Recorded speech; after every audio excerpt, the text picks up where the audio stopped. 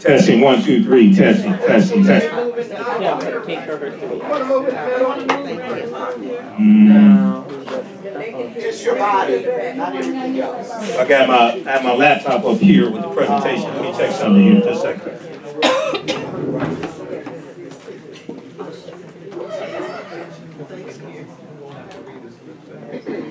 Testing, testing, te- testing, one, two, three, testing, testing, one, two, three. Let's see, uh.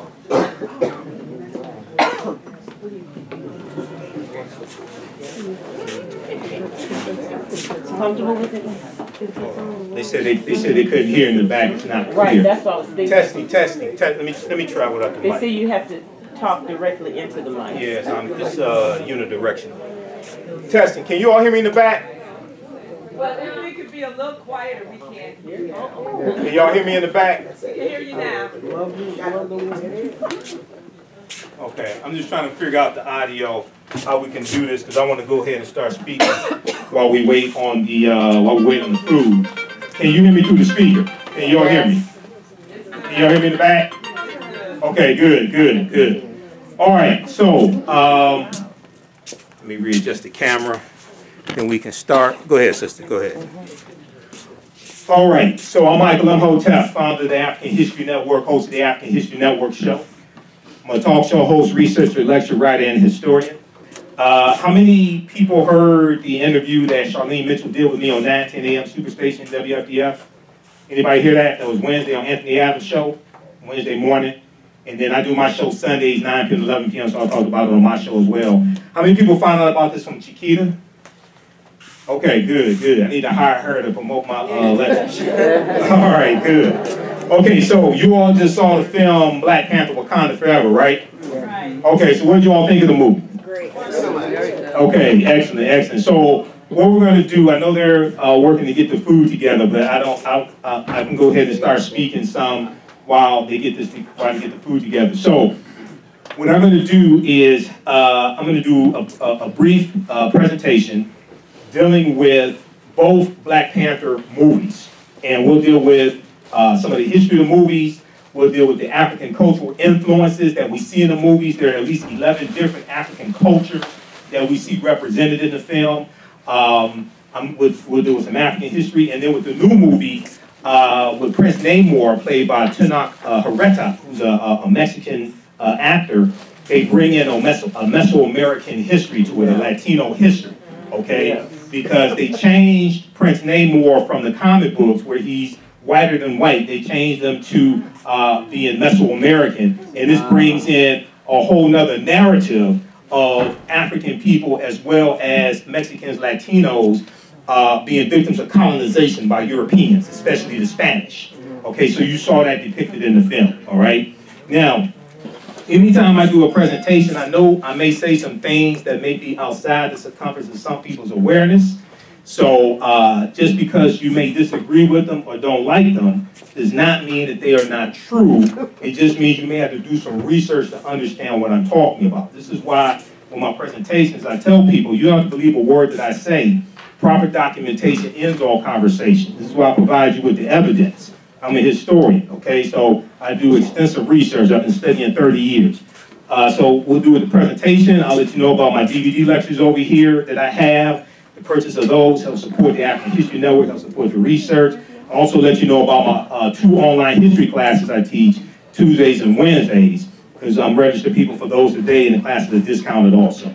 Okay, so the uh, uh, the movie Black Panther, first, the first one came out February 16, 2018 and it was the 18th movie in the Marvel comic universe. Okay, so the character of Black Panther was portrayed by Chadwick Boseman. We know Chadwick Boseman passed away from colon cancer in 2020. Tragically, we didn't know he was suffering from colon cancer. We knew something was wrong, but then we found out he had stage four colon cancer, and it was a big shock. Okay, the character of Black Panther uh, appeared in uh, Captain America Civil War in 2016, played by Chadwick Boseman. And that movie set up the Black Panther standalone movie starring Chadwick Boseman that came out February 2018, all right? So when people saw uh, uh, the first Black Panther movie, it came out in African American History Month, February, which was a good marketing strategy. It was the number one movie for five weeks. It did $1.4 billion worldwide, okay? It blew people away. And one of the reasons why it resonated so well with African Americans, but also across, uh, around the world, okay? But especially in this country was, it, it, it was not another slave movie. Okay, now e- even though slavery is an important part of our history, unfortunately, most people don't understand the history of slavery in this country. A lot of African Americans don't take this the wrong way, but a lot of us don't understand the history of slavery either. Okay, so and, and, and this is some of the things I deal with in my classes because um, a lot of people hear about 1619, okay, in, in Virginia. 1619 is important, August 20th, 1619, when those 29 Africans came into Virginia on the White Lion pirate ship, right? But codified slave laws didn't exist in any of the 13 colonies in 1619. The first colony that had codified slave laws was Massachusetts in 1641. They come to Connecticut in about 1650, come to Virginia about 1660, 1661. And then after, anybody heard of Bacon's Rebellion, 1676 in the colony of Virginia?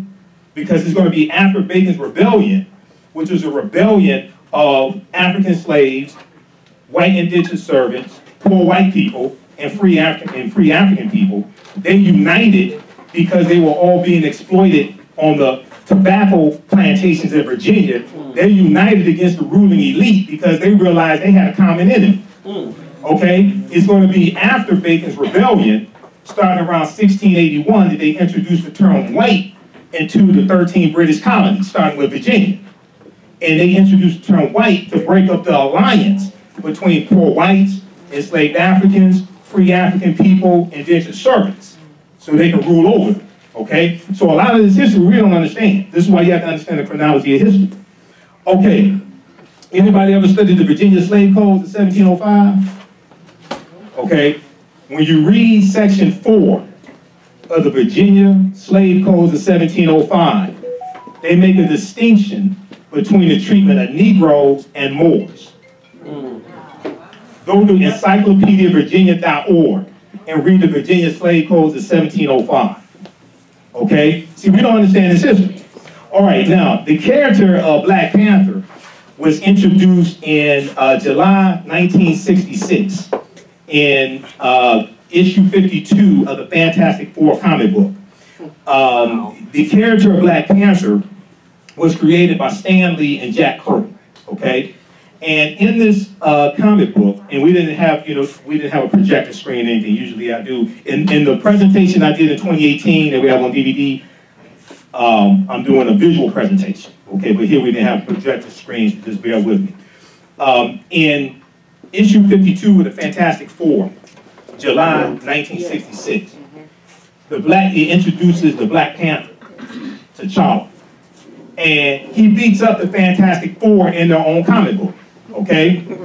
And this was the first time we saw like a major African superhero, all right? And Jack Kirby said he realized that he didn't have any black superheroes, so they, they created one. All right, now, at the end of that issue, he talks about, it talks about how T'Challa was the richest man in the world at the time, okay, in the Marvel comic universe. Well, that's like Mansa Musa, who was the richest man in the history of the world, who became emperor of the Mali Empire in 1312 AD. Okay? Now, there's, a, there's an article from History.com. History.com is the official website of the History Channel. All right? And in this, I'll give you the name of the article in just a minute, but this is, this is what it says in this article. It says, in the vast fictional universe of Marvel Comics, T'Challa, better known as Black Panther, is not only king of Wakanda, he's also the richest superhero of them all. And although today's fight for the title of wealthiest person alive, it, I, I don't think Elon Musk is going to be on that list for much longer. It- this fool is blowing up Twitter. Okay, this is showing. Don't take this the wrong way. This is showing you white privilege don't in, don't equal intelligence. Okay? Just because you're a billionaire don't mean you know how to run a business. Okay? We're, we're saying just because you're a billionaire don't mean you should be president either. Okay? All right, so, because I'm a political commentator as well, I'm on Roland Martin Unfiltered every Friday as a panelist. I'm a political commentator also, I study politics as well. Okay, so, uh, he's also the richest superhero of them all, and although today's fight for the title of wealthiest person alive involves a tug of war between billionaire CEOs, the wealthiest person in history, Mansa Musa, has more in common with Marvel's first black superhero. So this article from History.com, the History Channel, A&E, these are Europeans telling you that they're showing the relationship between T'Challa in the fictitious Black Panther comic book and Mansa Musa. Okay? Now, Mansa Musa became ruler of the Mali Empire in 1312 AD, Common Era, taking the throne after his predecessor, Abubakar II, for whom he had served as deputy, went missing on a voyage he took uh, by sea to find the to find uh, to find the edge of the Atlantic Ocean. Mansa Musa's rule came at a time when European nations were struggling due to raging civil wars and a lack of resources. They were dealing with famine, they were dealing with the Black Death, the bubonic plague that hits in 1347 to 1400 in spurts. Uh, Europe loses between one quarter to one third of their population during that period of time, 1347 to 1400. They lose between 25 million and 75 million people. Okay, so when the Black Death, when the bubonic plague came through a village, it could wipe out a whole village in seven days. And at history.com, they have some like good in-depth information on it because it would cause your like in terms like your lungs, it would cause them to dissolve. So you will cough up your lungs. Okay, so this devastated this devastated Europe. Uh, Mansa Musa's rule came at a time when European nations were struggling due to raging civil wars and a lack of resources. During that period, the Mali Empire flourished thanks to ample natural resources like gold and salt. So the name of this article, this came out March 2018. This was the month after the Black Panther movie first came out, the, the, the original one. It's called This 14th Century African Emperor Remains the Richest Person in History. This 14th century African emperor remains the richest person in history. This is at history.com, which is the official website of the History Channel. So this is Europeans saying this, that West Africa was flourishing when Europe was in disarray, because Europe is still, they're coming, they're trying to come out of the Dark Ages. Okay, the Vandals and the Visigoths crushed the western portion of the Roman Empire in 476 AD, and it's going to be the teachings that the African Moors take in in 711 AD when Tariq ibn Ziyad goes into the Iberian Peninsula. They go from Morocco, and if you look at a map, uh, Spain and Portugal are right above Morocco. Okay, so you're going to have tens of thousands of Moors going in over uh, uh, decades, going into Spain and Portugal, and then they go into they go into Sicily, they go into Italy, they're going to go west, they go into England, Austria, Germany, and you see this whole African presence all throughout Europe. Okay, now if, now when they go in, Europeans are already worshiping the Black Madonna child. Okay, y'all know this, right? Europeans were worshiping African people. The Black Madonna child, which comes from Osset, Heru, and Hor, and Os- Osset, Heru. Okay, this is a deep history. All right, now the Greeks call them Osiris, Isis, and Horus. Okay, now once again, I may say some things outside the circumference of your own awareness. Just because you never heard them before doesn't mean they, they're not true. And they still have the statues of the Black Madonna and child in Europe in their churches. They're, they're, they're in Poland, they're in Russia, they're in Italy, they're all, they're all throughout. Czechoslovakia. You ever heard of um, Arnold Schwarzenegger? You know what Schwarzenegger means? Schwarzen, uh, Schwarz means dark or swarthy. Nager is um, Austrian and German for Negro. So Schwarzenegger mean, can mean the, the, the, the dark plowman or the black plowman because Austria and Germany are right next to each other. Now, in, in the bodybuilding world, Arnold, Arnold Schwarzenegger is known as the Austrian oak because he's from Austria. And when you study Austria and Germany, they have statues of African Moors in Austria and Germany because they went all throughout those areas. They went all throughout their territory. And they're taking the teachings from the Nile Valley region of Africa, into Europe, this is what brings Europe out of the Dark Ages. They take something called alchemy. Today we call it chemistry. Okay? Because alchemy means of Kemet, and they're taking the periodic table. They introduce alcohol, they introduce algebra, they introduce soap, they introduce all types of nautical instruments. So when we look at the Spanish, and in the movie they show this, the Spanish conquering the Mesoamericans, like the, the, the Aztecs, the Mayans, things like this, right? So when you look at Christopher Columbus, Cristobal Colon, all right, one, Columbus never came to the land we call the United States of America. If you look at where he went on his four voyages, and we deal with this in the class, because you gotta understand Columbus. We may not like to deal with Columbus. Columbus is central to understanding the spread of the transatlantic slave trade. Because the Portuguese were the first ones involved in the transatlantic slave trade in 1441 going into Mauritania. The Spanish are right behind them. And the Spanish and the Portuguese, they had the most experience with the Moors because that's where the Moors went in first. Okay? So Columbus, on his four voyages, he set sail first August 3rd, 1492 in the Nina, the Pinta, and the Santa Maria. He's using nautical instruments based upon technology that the Moors introduced into Europe. Because the Moors introduced spherical globes and almanacs, things like this. Everything we taught them came back to kick us in the behind. This is why I say, because I study, you read Golden Age of the Moor, edited by Dr. Ivan Van Sertima, they break down all this history and, re- and read the uh, essay by Dr. Jose Pimienta-Bey, who's one of the baddest scholars on the history of the Moors. He used to teach classes on the history of the Moors at Berea College in Kentucky. And then he, no, sorry, he was at Temple University first with Dr. Molefi Kete Asante. He was at Temple University first, teaching classes on the history of the Moors. Then he, uh, now he's at Berea College in Kentucky. Berea College is where Dr. Carter G. Woodson got his uh, first undergraduate degree. Berea College in Kentucky. That's a brilliant brother also.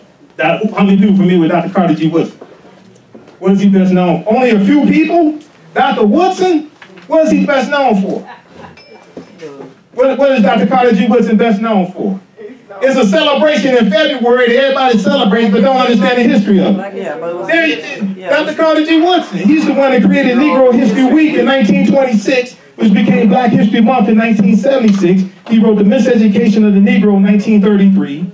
He co-founded the Association for the Study of Negro Life and History, September 1915. This brother is an unsung hero. That's why we celebrate African American History Month, Black History Month now, is because of him. All right. So, a lot of people hear the word Wakanda, but don't know that Wakanda is a real word. Okay? So, we find the word Wakanda in Native American languages like the Omaha Ponca and Sioux Indian Native American languages, S I O U X, the Sioux Indian. Um, in, in Wisconsin, there is a Wakanda Water Park in Wisconsin. Okay, it's been there for decades. They ain't just opened it up when the movie came out. No, it's been there for decades. Uh, in Nebraska, you have schools named Wakanda. Now you'll see different variations of the spelling of the word, but when the but, but the, the water park in Wisconsin is spelled W A K A N D A, Wakanda. And if you look at some of the schools and things like this, they're spelled Wakanda. Now, Wakanda in the Native American languages, it basically means possesses secret powers. Possesses secret powers, which to me is a lot like black girl magic, right? Uh, uh, amongst the Osage uh, Native American nation, it, it refers to their god, okay, Wakanda. Now, Wakanda is also a Kikongo word, and Kikongo is a language spoken in the Democratic Republic of the Congo, it's spoken in Angola, and other uh, Central African uh, nations. Um, Wakanda in Kikongo is in reference to family or community. Okay, it's in reference to family or community. So this is a deep word. Now I don't know. Uh, Bluetooth ready to pair. They uh, Stan Lee and Jack Kirby. I don't know how much knowledge they had, but they had to have some type of knowledge uh, dealing with like the Native American history or something. They ain't just just pull all this stuff out the sky. Okay, so they had to have some type of knowledge of this. Uh, there was a reference uh, dealing with Wakanda from native-language.org. Native-language.org that deals with uh, Wakanda. One, one of the variations of the spelling you'll see is W A K O N D A. all right? But uh, one of the popular spellings is what we see in the film, W-A-K-A-N-D-A. So even though it's a fictitious African nation in Central East Africa, and over over the decades, the location of Wakanda in the comic books has, has changed, but it's somewhere around Rwanda, Uganda, somewhere in that area, all right? It is a real word also. Okay, now, um, when we look at the, uh, the movie today, um, Black Panther Wakanda Forever, we see a Mesoamerican influence, okay, because of um, Prince Namor. Now, in the comic books, Prince Namor was introduced in 1939, Marvel Comics number one, 1939, okay? And at different times, Namor is an, is an ally of Wakanda, other times he's an adversary of Wakanda. Uh, in some comic books, er, like during World War II, Prince Namor is fighting against the Nazis. All right, so he goes. So Namor existed before the Black Panther character did. In the comic books, there was a Greek mythology influence on uh, Prince Namor, and you see how if you see how he's depicted, if you Google Prince Namor, you see he looks he looks whiter than white. He has pointed ears. He has the wings on his on his feet which is probably in reference to like Mercury, one of the, the uh, one of the Greek or Roman deities, things like this, right? Um, but what we see in the film is a Mesoamerican influence to deal with a shared history of colonization. Now, Mesoamerican civilization, uh, this it, what this is, this is a con, this is uh, the complex of indigenous cultures that developed in parts of Mexico and Central America prior to Spanish exploration and conquest in the 16th century, the 1500s. And you're going to have, like, when we look at Columbus, for instance, Columbus conquers Hispaniola, the island of Hispaniola. The western third of the island of Hispaniola is where we have Haiti, okay? Because that was conquered by the Spanish first, and then, and then 1697, the uh, French take over what we call Haiti from the Spanish, okay? Uh, he conquers uh, the Bahamas, he conquers Jamaica in 1494, Honduras, Panama. Uh, you go through and look at what Columbus conquered on his four voyages. Those island nations have never recovered from what happened to them over 500 years ago. Okay, killing the indigenous people. Uh, there were millions of indigenous people uh, who were killed. And then we see in about 1501, 1502, the Spanish start bringing Africans into those island nations. Okay? Now, how many people are familiar with uh, the Right Reverend Bishop Bartholomew de las Casas? Anybody familiar with de las Casas?